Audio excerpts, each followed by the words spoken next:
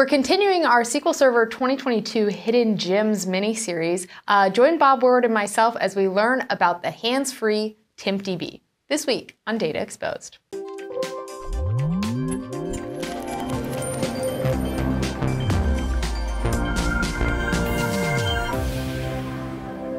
Hi, I'm Anna Hoffman, and welcome to this episode of Data Exposed. Today I'm joined once again by Bob Ward. Bob, thanks so much for joining us. Great to be back again. Great to have you back. And today we're continuing our mini series on SQL Server 2022 Hidden Gems. So Bob has been sharing all the cool things that we might not have known about in SQL Server 2022. And today we're going to be talking about hands-free TempDB. And I know there's a story here, Bob. So tell me. There's a story. You know, nobody cares about TempDB. It's actually been one of the problems in the server people have dealt with for my entire career at Microsoft. So a little bit of a history lesson. SQL 7.0 introduced the concept of latching. We needed to do this to physical protection of pages. And for TempDB, it's not an I.O. thing, it's more about physical protection of allocation pages. Because when you do a lot of TempDB operations, we have to put pressure on all these system allocation pages to do it. So in 1998, I was six months out of the gate supporting SQL 7.0, and I started getting all these phone calls from customers saying, we're having latch waiting in TempDB on a fixed page interval and we used DBCC page back in the day. And we found out it was one of these type of pages called PFS GAM, or SGAM. And we didn't know why. So we talked with the product team. They said, well, it's because there's only one file. And you have all these threads lining up, putting pressure and contention on these latches for these pages. Okay. So we're like, what do we do? And they're like, we'll add multiple files. We're like, why would that matter? Well, what you're doing is you're partitioning out our code for us by doing this. The, the actual allocation or the access to these latches are now spread across files, a natural partitioning. Well, we said, how many? They said, uh, well, we don't know. Back in the day, we only had like eight processors for these servers, right? They wow. said, set it to eight. So then it became kind of a problem. People would set it to like 64, some crazy numbers. I came up with some advice not long ago about start with eight and add by four, that kind of thing. So using multiple files is a help. And in fact, if you look here, Anna, we've done some things. We've added multiple files in auto and setup. Mm-hmm. We don't require these trace flags anymore to help you make sure the files grow correctly, using things like uniform extents, et cetera.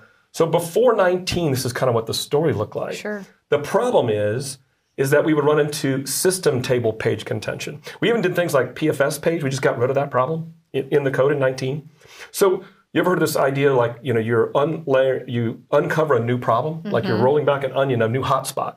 So by fixing some of these problems with multiple files, now we were getting calls saying there's latch contention in TempDB, but the pages weren't known. So we do a DBCC page and we say something like sys schobjs. That's system table. Here's why. When we have to go into the code and drop and create tables, we have to run transactions in system tables, which requires to latch pages in system tables. So there's no latch hint for a customer. They can't control this. Oh. And the answer in the day was, can you back off your TempDB workload? Ooh, That's not good. No. That's not good. so in 19, we introduced a new concept called metadata optimization. We discovered if we made just the system tables hekaton tables, mm-hmm. those are latch free. So we got rid of the latching problem by turning that option on. Wow. Now, there were some issues early on in 19, but we resolved almost all of those things. So imagine now you go to 19, you turn on this option, you still have a couple of potential contention pots with SGAM and GAM pages, which have to do with uniform and mixed extents. And the reason is, is that we're just uncovering the, la- the last hotspot. So guess what? In 2022, we just got rid of it. So this is why I say put TempDB on a fast drive, mm. use multiple files, and it's hands-free. No more latching. No more la- latch-free. Latch-free. Wow. I can prove it. Okay. I'm going to do Let's it. Let's take a look. Well, by the way, I forgot to tell you, there's other hidden gems. so we know that TempDB gets recreated every time when you start SQL uh-huh. Server. So we've optimized I/O for flushing. It's like delayed durability is built in mm-hmm. for log transactions, mm-hmm. and we don't have to actually flush things directly to disk for disk cache systems. So TempDB is completely optimized on the I/O side and on the latch side. Wow. I know, but That's I'm going to show you the latching demo. Okay, let's take a look. Now, what I've done is I've got this interesting test. I'm going to test what it's like to be before 19 mm-hmm. with 19 and with 2022 and see who wins. Okay. Okay, and I'm going to do this. If you look here, let me drill in here. I'm going to do this with one TempDB file. Now, it doesn't mean you're just going to use one file normally, but I'm going to show you the power of what it's like even with just one data file. So drilling in here, I've got a TempDB. I created one single data file. I've got a log file of certain size that I'm using. And I'm going to use ostress and a combination of some trace flags to show you so what's going on. Now, also, this is a DMV that's going to help me look at what are the page types or object IDs for the latch contention. So here's my sophisticated scoring system Okay. in Notepad.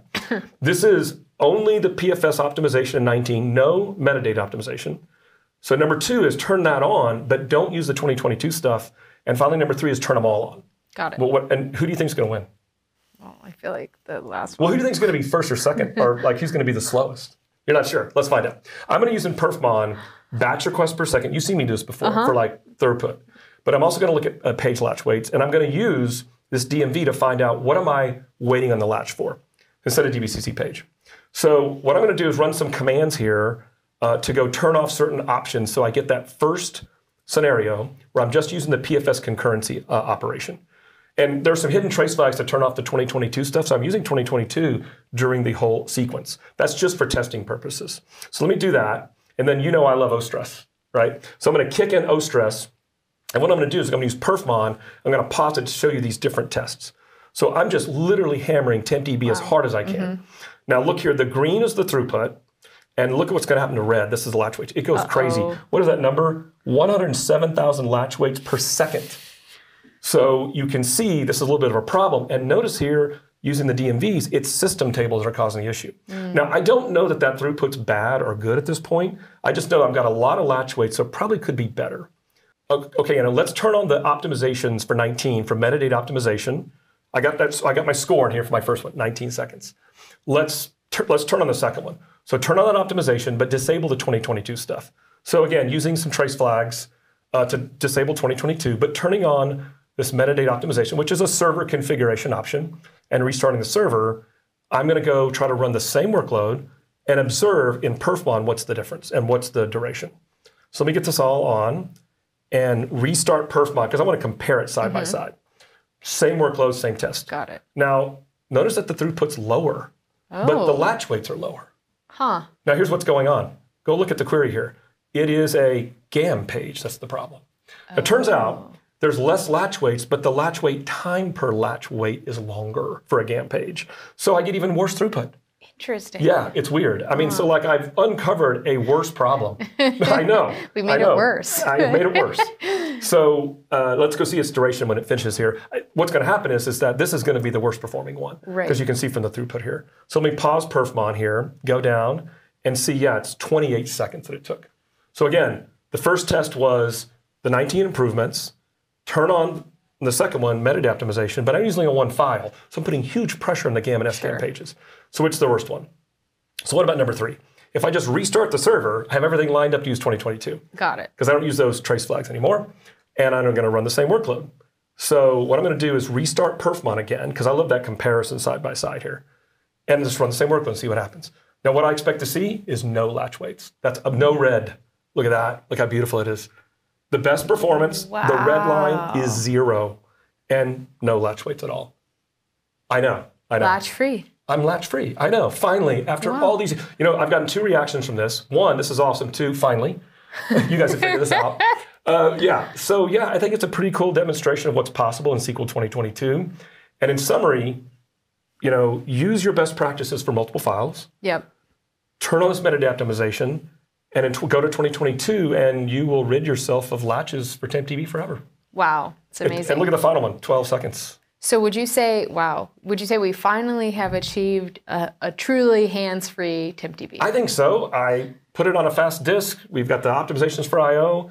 We've got latch improvements. I'm hoping for the world here that TempDB will no longer be a big maintenance problem for you. yeah, hopefully we've reached the center of the, the onion or the layers. The, the layer, exactly, the exactly. Yeah. problems. yeah, exactly. Awesome. Well, Bob, thanks so much for Yeah. showing us this. Folks, you need to get on SQL Server 2022 so Yeah. you can experience the hands-free, latch-free TempDB. If you like this episode, go ahead, and give it a like, leave us a comment, and let us know what got faster for you.